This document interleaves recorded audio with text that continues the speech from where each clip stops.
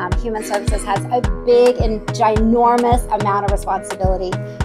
As a Head Start alumni, I know firsthand the importance of having a safe and secure facility that is filled with caring and nurturing staff. So when we had an opportunity to partner with Human Services for a Senior um, Recognition Month, it was the first thing we thought to do because these are our family, these are our friends. I'm saying that some people, it's like seniors, they never talk to anybody for the whole day. And when they do come, it's such an enlightenment, you know, to have them say, Mommy, how are you? Everything okay? They have a smile on the face and they're very warm and welcoming. So it's beautiful. Us seniors, we appreciate it. Tell us about the uh, Dependent Disaster Registry. This is an important registry and it's not necessarily for services, but it's in the event that there is a disaster, we need to know where you live and what your needs are. CSEP is for low-income individuals between the ages of 55 and over. Personally, my experience, I started last year, March of 2022, and I work as a receptionist of property and procurement. I worked there for one year, and then uh, a position became available at CIS, at the Senior Employment Program, for a job coach.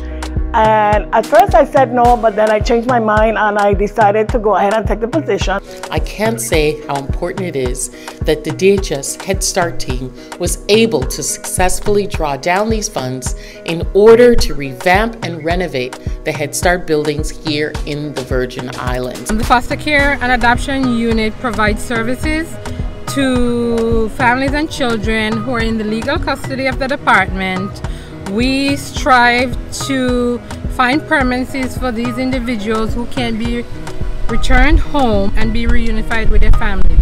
I'm the executive director of the Women's Coalition of St. Croix. We were part of a team with DHS. Please be alert for victims that's being sexual assault.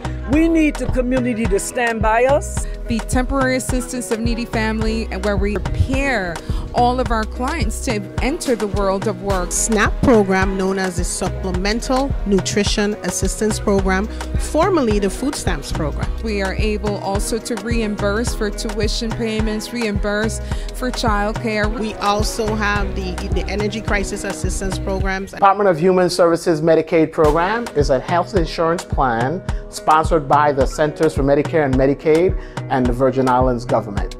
Our plan provides quality health benefits to our USVI residents that qualify. If you have a special need, um, a special medical need, or you're living alone and you're an elder over at the age of 60, um, we have the Met Department of Human Services. During my time there with the 10,000 Helpers program, we um, partnered with the Human Services Program. We have had and helped many who are mentally ill and who are homeless to get their mental to get their mental transitioning part done and also the healthcare part done.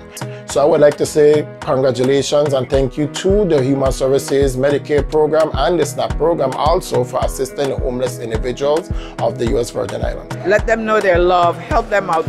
Uh, I think our senior leadership, of and by myself, um, our administrators, directors, supervisors and managers, line staff who, who touch the lives every day, um, not just in a macro practice, but a micro practice, all the way direct services, because we see things that nobody else wants to see on a regular basis.